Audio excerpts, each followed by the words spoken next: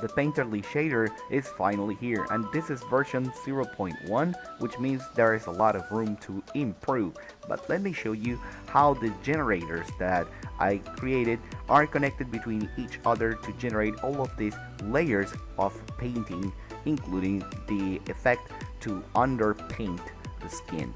Now we also have to show the Comic Painterly shader which a lot of you seem to have found very interesting. I'll be showing this specific uh, shader in kind of a rundown here in this video. Now please bear in mind this is not a tutorial, this is just a video showcase to tell you how you can use these shaders which are available on my Patreon. There is a nice add-on called Flow Map which is used to smear vectors. Basically, we're going to smear procedural materials and that is awesome. But just in case, you can also render out your model and then you can give finishing touches in Krita using the new RGBA brushes.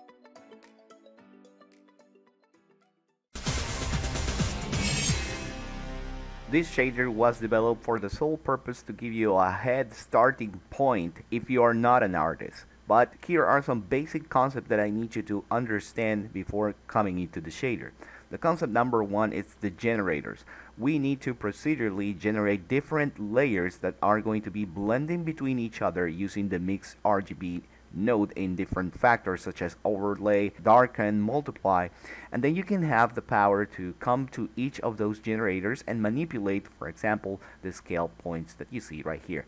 The second concept I need you to get is that artists paint with light. You need to understand how light affects your surface even though your surface does not have a shader like in this case. I'm going to take this high polygonal statue and then I'm going to use some cool and warm colors set to specific places uh, given with the reference of any other painterly best picture that you can find about different artists. Now, how do you append your shader? Well, you can go to File, Append, follow the procedure here in the video, and then you can point to Materials, and then Painterly Skin version 0.1. That's the Painterly look, not the comic one. So this is going to apply right here. You select this, you come down here to the material, select it, the recently appended material, and then it will assignate it. Now make sure that your scale is set to one unit in Blender, otherwise it would look very small. Now it reacts very slowly because the shader is very heavy, okay? And there is also a lot of polygons on the screen. Now, one thing I need you to understand is to download the add-on, which is called Flow Map, and make sure that it is active so that you can use it when you want to smear your procedural layer, which in this case is the base layer. Now, of course, you need to know about color harmony. Um, you need to understand how to depict every picture that you see here. For example, highlights, blending modes, uh, smears, and you can take Rubens paintings, for example. So you can also look for Caravaggio paintings to know the contrast levels, values, uh, even details such as the rust or like in this this example uh, the accumulated material that dries off over time. You can check out also values like what do you do when you saturate things or desaturate things. Now I will strongly recommend that you follow the Krita channel uh, with Ramon Miranda because he creates natural feeling brushes using Krita engine to create a natural smooth feeling and a very organic approach. All of his brushes are created from real medium capture brushes. The following shaders are available in my Patreon. This is a quick presentation for the stylized painterly shader. The idea here was to mix different techniques and create different procedural layers, if we can call it that way. Each one of these nodes, it's a generator it will generate a procedural noise, if we can call it that way, or a procedural stylized layer. So what if you have a texture and you want to combine it all together with this? You can come here to this top part of the tree, of the shader tree. And this is the most important area that you can uh, find in the shader. Because if you have a texture, you can directly connect it here. Once you have that, you can use this mixer to favor your texture in 0 or favor the painterly effect when it's set to 1. Right now it's set to 1, so everything you see is procedural. It will not take in acquaintance your image texture.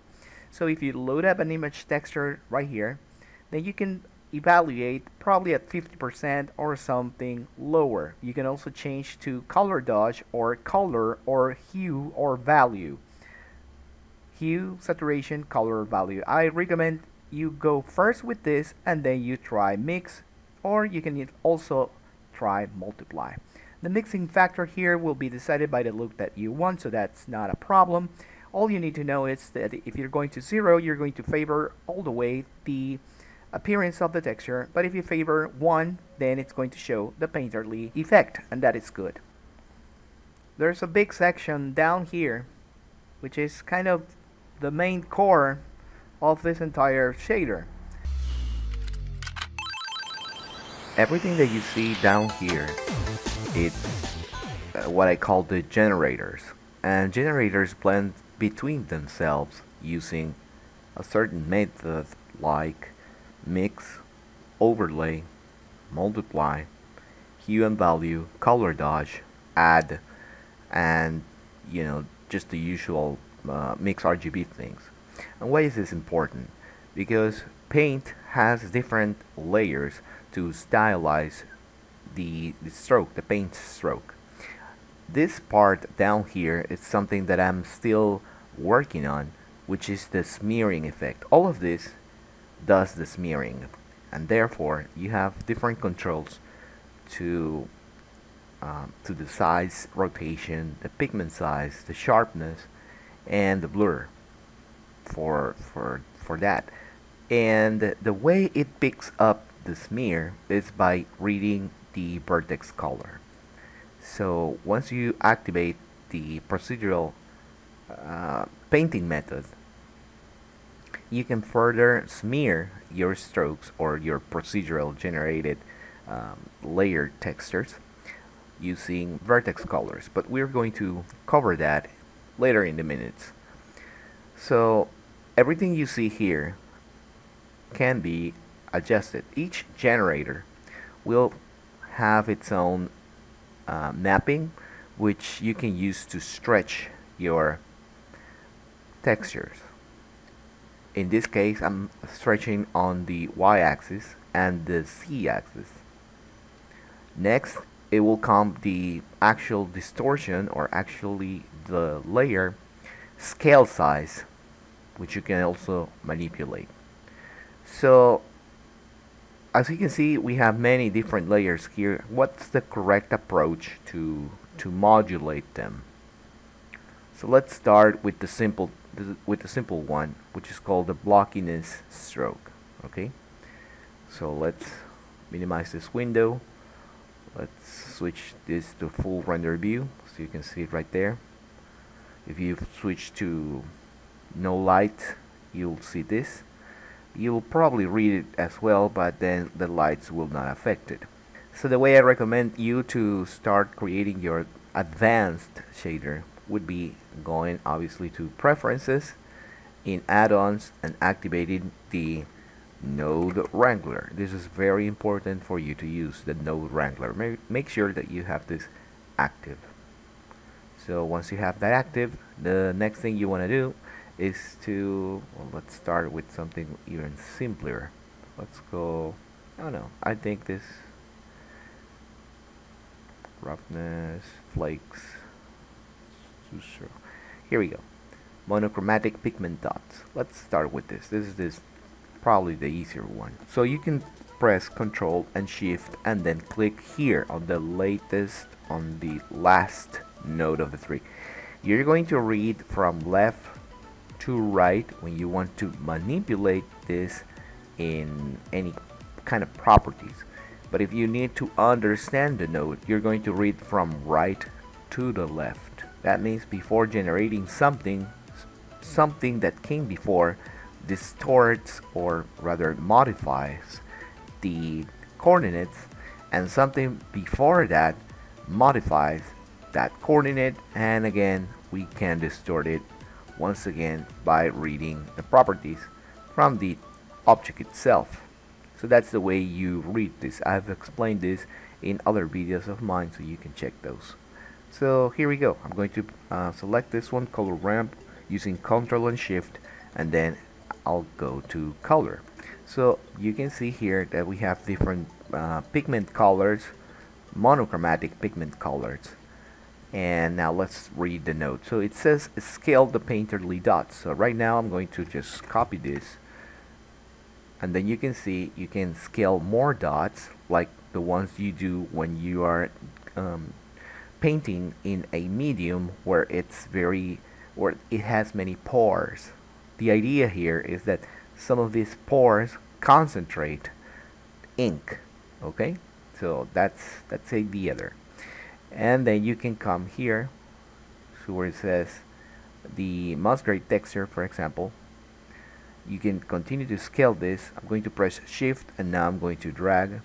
This is going to create some variance so, you, so we don't have the same pores with the same appearance. Otherwise we would have something like this and it's just too boring to, to do it that way. So leaving it like that you can see that we have some different um, ink concentrations if we can say it so.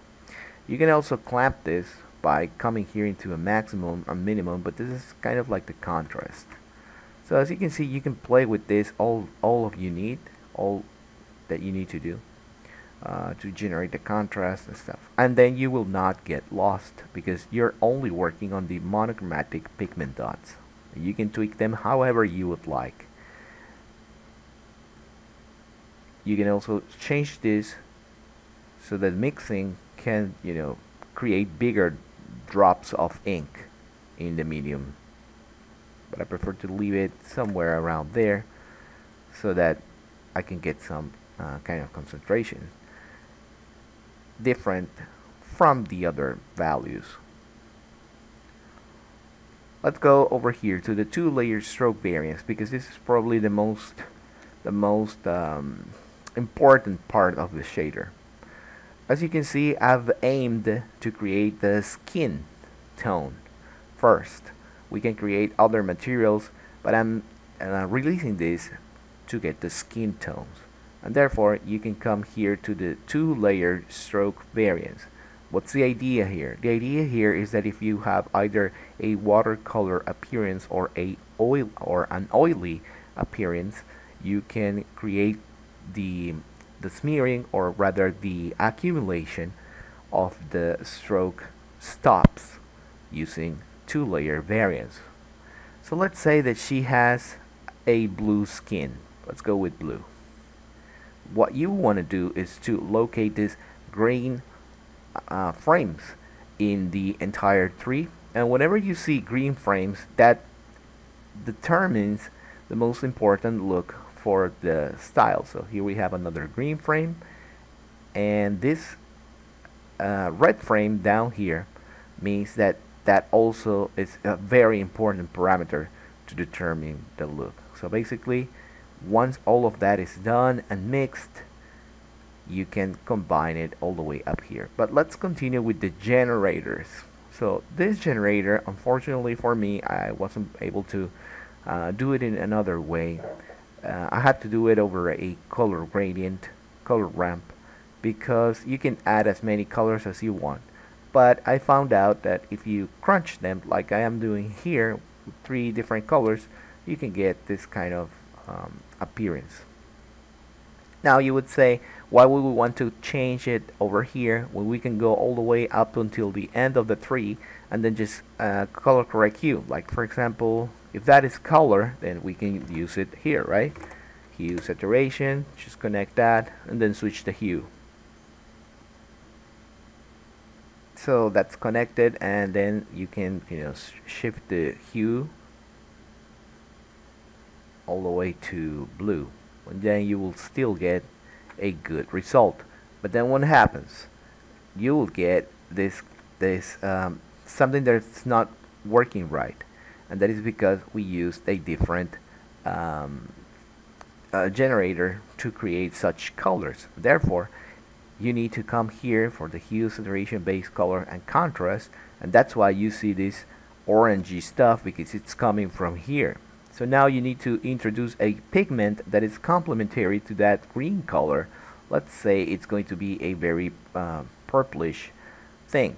And now you can see that the that underlayer changed the entire approach of the face. So this is why you need to understand up to a certain point that not only it's um, possible to change it using a hue color saturation value as we normally would with any with anything but that there is a factor there is a factor that will also affect the the, the if we can say it the, the property of the ink the sub layer property of the ink. So if you have green and then you're going to use an underlayer color of green this is the result. Because it's looking for complementary uh, values another thing that I want to point out when you're creating your your um, artwork is the use of lights. There is one specific light this one right here. It says light 007 controls the shadow. Wherever you move this thing it's going to cast the shadow over here. Watch this. If I move this okay it's going to uh, change or affect the face. If you're going to move it over here well I think right now yeah I'm on let me uncheck that. Uh, if you move it over here then it's going to affect this thing. Because this specific shadow is designed to control the appearance for the threshold on this model. So you can locate that under there. This model is also affected by the regular lights that you are going to put, but only one light is going to uh, do that effect, which is light 007. And depending on how you compose your lights, you are also going to get different effects for your skin because we're using a normal map, which is the traditional method to create something stylized. You know, you affect the normals on your model. And the way we affect the normals, it's right here, where it says noise normals. And then you can change the factor detail size or um, the normal noise size as well. And then that's connected to a normal map which in turn will go into the main shader. The main shader is just the diffuse BSDF and why do I do this? Because I want the light to affect it. Um, you can also connect it to a half Lambert shader and it will work just perfectly. As a matter of fact, I super recommend that you do a half Lambert shader and then connect it there. But I was just um, quickly drafting this, so I just connected to a diffuse BSDF and then mixed it to a 50% with this custom rim light that I created. You can see that the custom rim light have different parameters. Let me see if I can get close here. So for example, if I go left to right, you can move this, okay?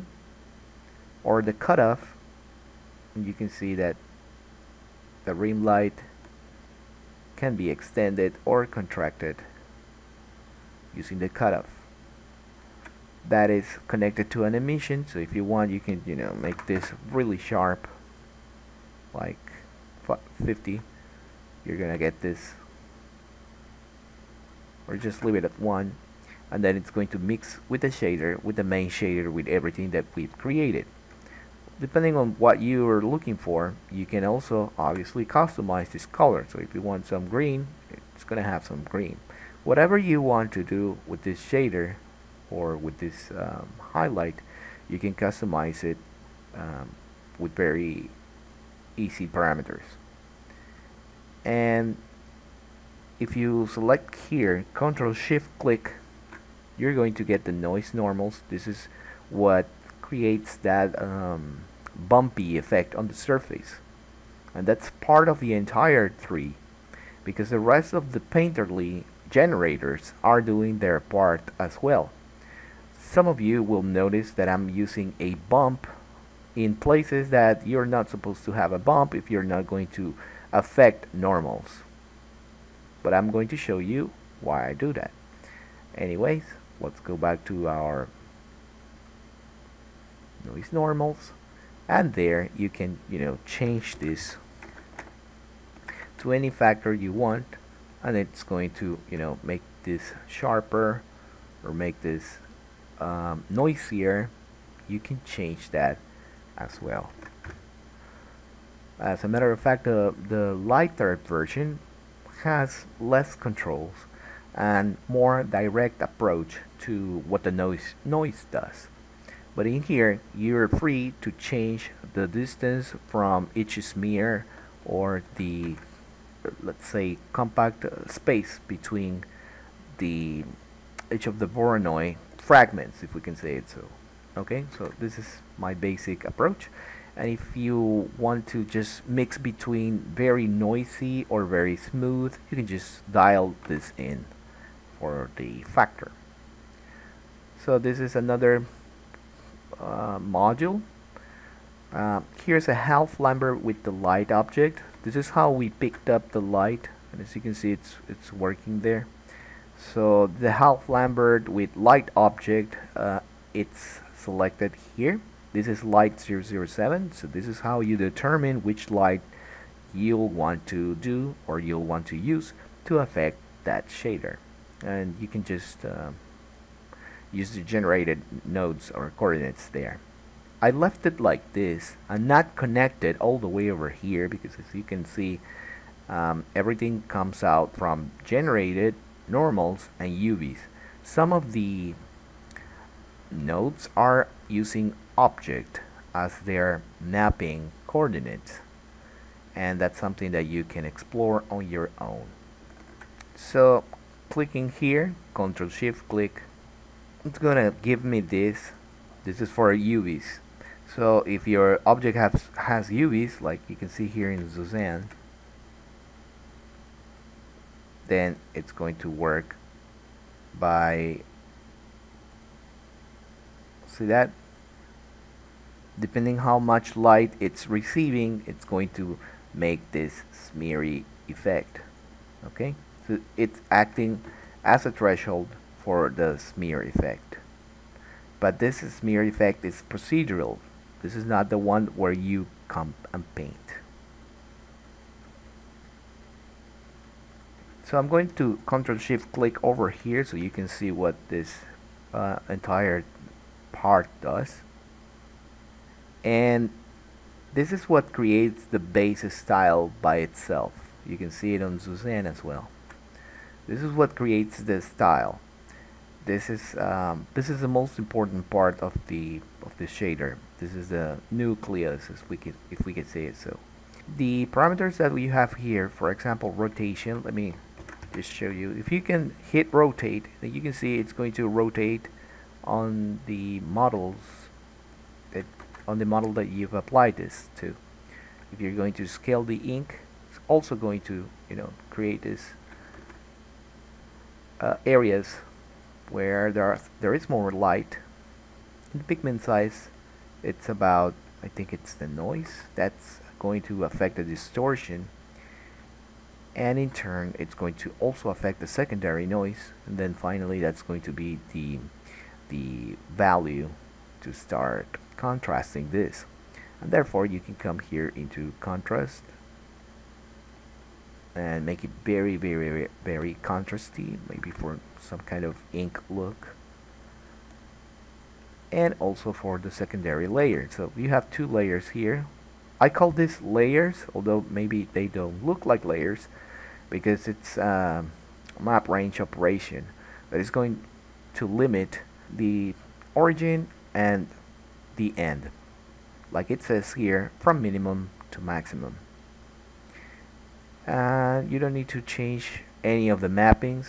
Most of the times it will give you just the right factors so what I'm recommending you to to try it's always to change the scale for example in the blockiness stroke let's go over here control shift click let it load okay so here again I'm not seeing any results directly but I can see it I can see them on Suzanne but you can see them on Suzanne I think this one is also picking up the UV right this is also picking up the UV. So why do I do this? Why do I have these factors that sometimes work and sometimes you do not see any any changes? Because I've I've I had to prepare this advanced setup so that users with UVs, like you can see right here, this uh, square grid, users with UVs will see the changes that are going to be applied blocking this stroke. So the scale for that, you can change it over here, okay? So look at that. It's very good. It's just grayscale, but it's working with the UVs. So I had to be prepared for each scenario. Either if it had no UVs, and then it will take all the generated nodes. Either if it had UVs, and then it will take all the UVs nodes. And even if they, in the case that they do not have it, they will have a normal. So I took a, took um, uh, precaution on that and also connected the normals to all of these other layers. So in either case, I really, really, really expect this to work as intended. And uh, I hope that if you have any questions, you may ask them in the comment section below. I'll, I'll be happy to answer them. And again, if you can come here and change the scale for each of the the procedural textures like for Voronoi, the noise, the wave texture, it's going to work very, very good on your model. So let me see what else we have here. This is the ink overlay spread. Oh, okay, this one. This one is very interesting. I'm going to I'm going to click here, and what this intends to do, as you can see right there, we have a vertex color property. How do we know that? Let's go back here. Let's change this to vertex. So how how does the choosing of the color is decided. This is where you need to install if you're on vertex paint mode this is where you need to install this marvelous add-on I'm using vertex paint and then I'm going to be using the properties of the tool. You can come down here to where it says 3D flow map vertex paint. You need to install the add-on flow map and in vertex paint and texture paint. You're going to get this. So the way this works is by let me switch here activating it by clicking here flow map vertex paint mode. If you click that oh, I'm going to get an error. I'm going to press F for the brush size. And whenever you draw you're going to smear your vectors. You're going to smear see that? You're going to smear your strokes. This is something that uh, you do not see. Maybe maybe my I don't know if you can see that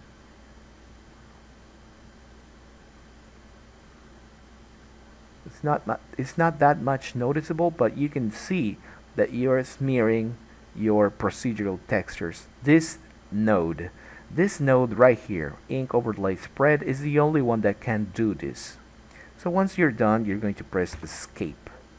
And if you press escape, then you will stop painting in the flow map vertex paint mode. Why is this important? Because the flow maps use a specific colors whenever they are being drawn. I don't know why I get that error. Maybe you will not get that error.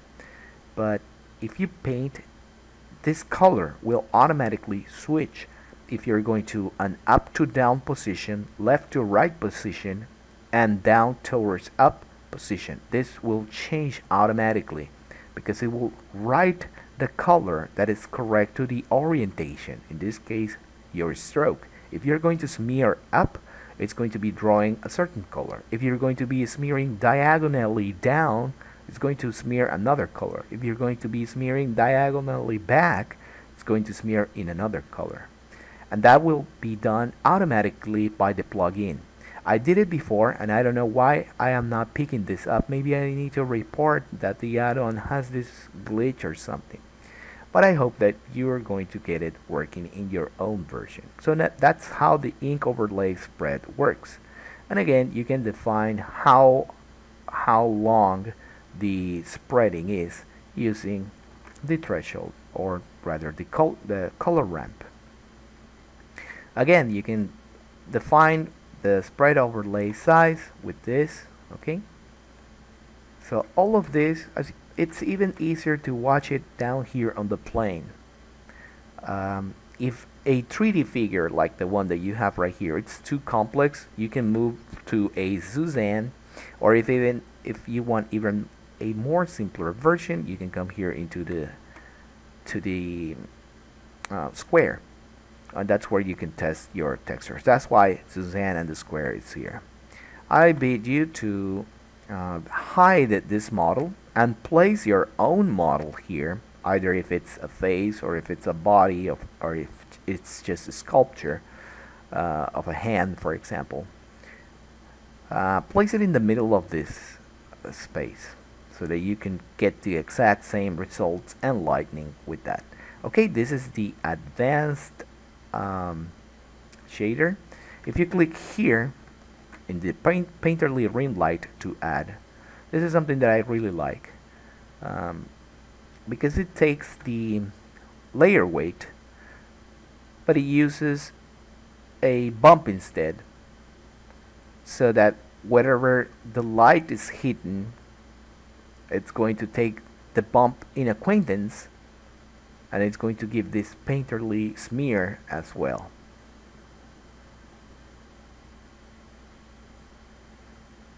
um, okay so another factor another generator that we have right here it's called roughness edges and variance flakes. So if I click here you're going to see that this is the classical flakes that you get whenever you're using any painting medium. This is created when the surface is very rough. And therefore I gave you parameters to use that um, contrast for example and you can also um, scale this. So you can come here to the scale. This is the one responsible to generate that. And then you can scale it with a, a lot of grain or less grain. Of course if you want uh, more detail or dimension or, or more chaos you can come here into lacunarity and generate more chaos more defined edges so that's the way it works. So see this one for example is taking it directly from the object. You can target any object and um, let me do it so you can see it. I'm going to shift A create an empty let's use this cube. It's kind of big. If I put this cube over here select this and if you use that cube as a helper watch what's going to happen. You can control the entire thing using the cube. That's why I left it on object, but without targeting any object because you can use the cube to actually um, position your texture if we can say it that way. Now if I delete this, you can see this remains the same. If I delete this, then it's back to the original state that it was before. That's why whenever you see object, can, you can use a null or I'm, I'm sorry an empty and then you can you know manipulate uh, rotations more directly. And yeah that's basically it. I know it looks complex but once you get each uh, each node its own try you can see what is going on there um, let me see if I forgot anything else. I don't think I I need to cover anything else. So again, if you have any other questions, please let me know in the comment section below so I can help you. And it's very helpful whenever you create a snapshot or a screenshot and then you ask the question because that way I can help you um, with anything that you have um, in question faster because that that allows me to see what whatever you're seeing. So my last advice is that you paint with light. Renaissance masters in the painting periods always try to figure where the light source was so they can use that light source and uh, affect whatever object or whatever artwork they were doing and so you can do the same here and that's the main principle here in the painterly shader. If you select this you're you're going to notice that you have this inking lines. Let me see if I can show you that. I think it's down here. I think it's this one. Yes. And this is exactly what it's going on. See? What we talked about earlier. So you have this threshold if we can say it so where you can move this and it's going to be very smooth. Maybe it's something that you're going to like. And if you move this you're going to manipulate that other side as well. Then you can do this. Well maybe that's not the correct approach. This is the correct approach. Um, and then you say sure but what if I want to open or variate that? Then depending on where you're going to do it you need to scale the Musgrave texture as you can see right here okay? You can scale it like such. If you scale it to a minimum it's going to be bigger like 435 something and then you're going to also scale this one. You're going to see that.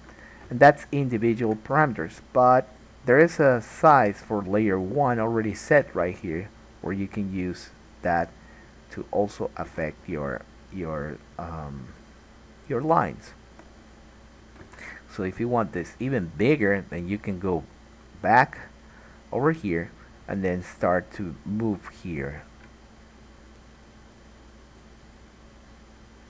The noise texture. And as you can see it's less strokes. And if you even want more controls or more stretching in this case you can use the X.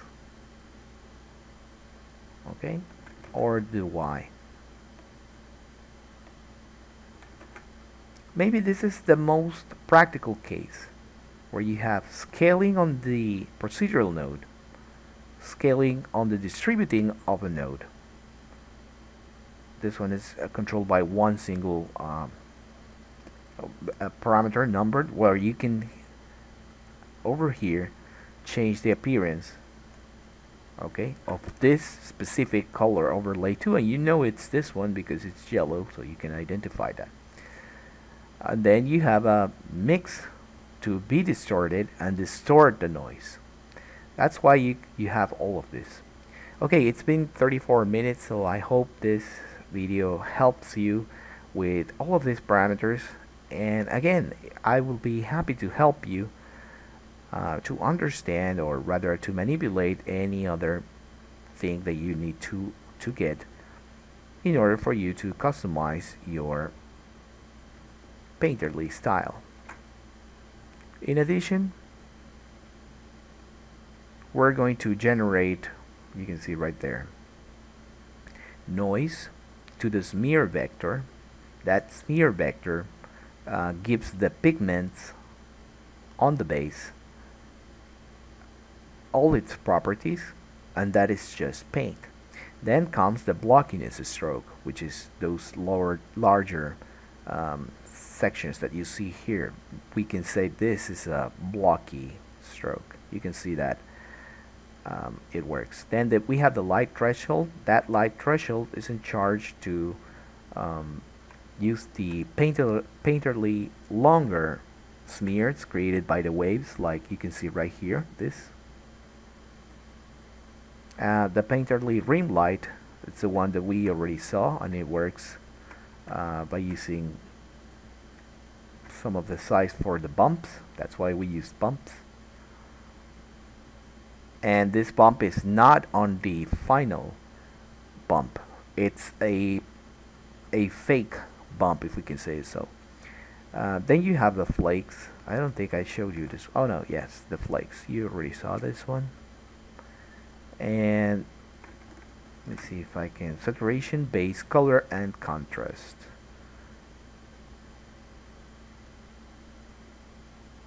In our previous case we had this. And this is the what we could call the richness of the color base. This is where all your previous generated um, generators will get tint will get a value.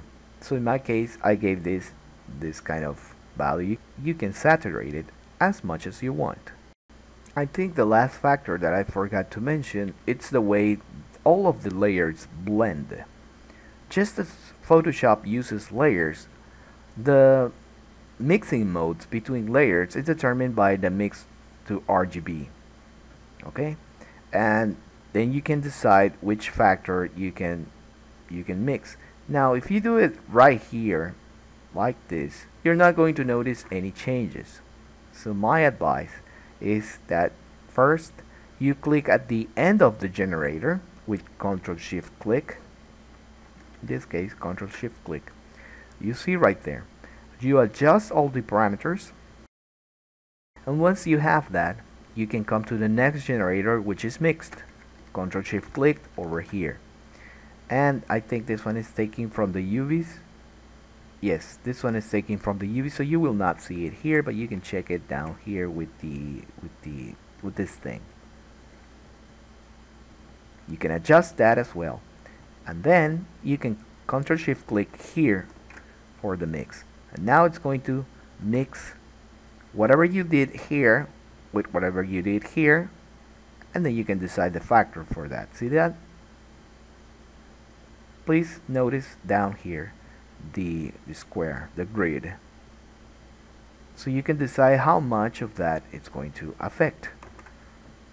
So in my case, I'm going to leave it here. Next, you're going to click over here, Ctrl Shift click over here, and now you're mixing anything that you have right here with everything that you uh, picked up back here. And this one is coming from UV again so only the UV textures will work. And then you can mix the factor for that threshold. If you click right here you're going to see this. And if you don't like that shape you can manipulate it over here. Okay this is going to give you more contrasty look. But if you don't like this then you can change it over here okay? This value thing will allow you to change. You can guide yourself with this.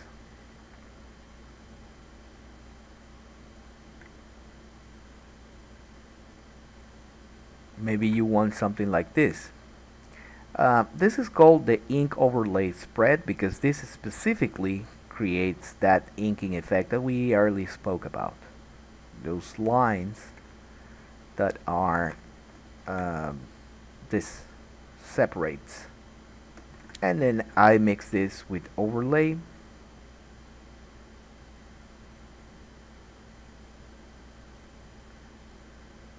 Obviously it's going to give you a better result on volumes than on a plane. So you can also check with Suzanne although she's uh, she's she has weird UVs as you can see right here. It's not opened correctly in some areas uh, but you get the idea. So it is best advised that you use a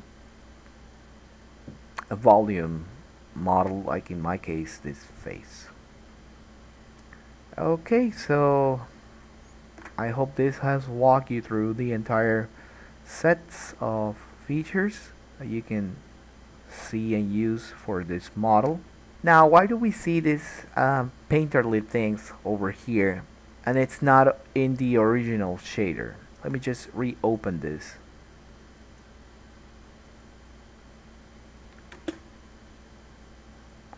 That is because I let me press 0 to go back to the to the camera. Press F12 you're going to get the render. And here is the render. You can save that image. Save as. I'm going to be opening Krita 5.1 pre-alpha. By the time you get this 5.1 pre-alpha, and what's neat about this version, which is pre-alpha, that means it's um, experimental, just like we when we get Blender experimentals. What it's neat about that is that they have this new set of brush engines called the RGBA brush engine. And what it does is that you can come here and all of these brushes are designed to to mix okay? To create this kind of effect. Right now I'm using my mouse but it is very very advisable that you use a, a tablet a stylus so that you can use this um, and mix and blend with much ease. Now you will probably paint if you have a color to paint with. So I was advised that whenever you do right click and then you open this little thing right here it's going to ask you if you want to color it to use this brush to color or not. If you don't want to color but you just want the mix and appearance then you set the color rate to zero. And then it's not going to paint. It's just going to smear. Okay? That is just um, I'm exaggerating here so you can notice the the impasto effect. Look at that. Okay? Well I think you get the idea. Right now my mouse is doing hard strokes but if you would had a stylus then you can create all of this. As you can see the shader just creates the basis for your artistic eye to continue to refine this this um, this render. And right now here it's just exaggerated but you get the idea.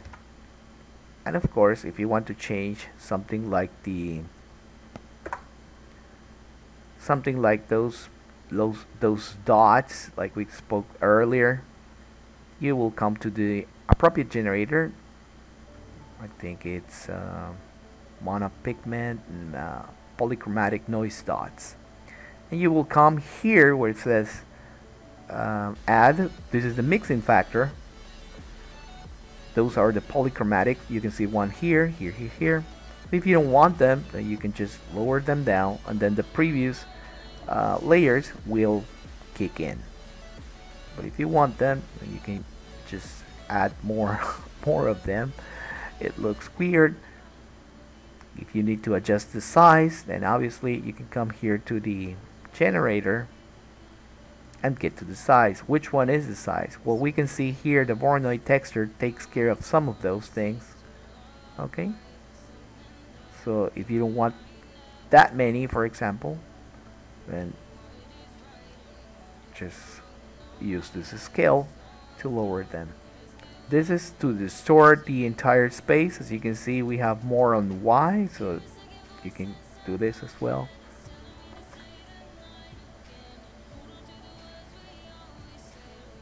I know it might be daunting and it can take a little bit of practice but when you do you're going to be able to create anything with this stylized painterly shader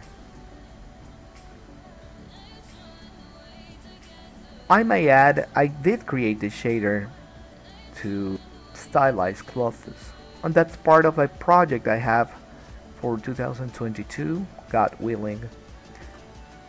And I want to share that with you in in our Patreon. So thank you very much for your support and please let me know if you have any other questions about this shader. Thank you very much.